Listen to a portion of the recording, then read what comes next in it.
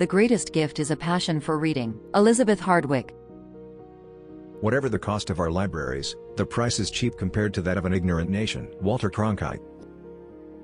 You can find magic wherever you look. Sit back and relax. All you need is a book. Dr. Seuss.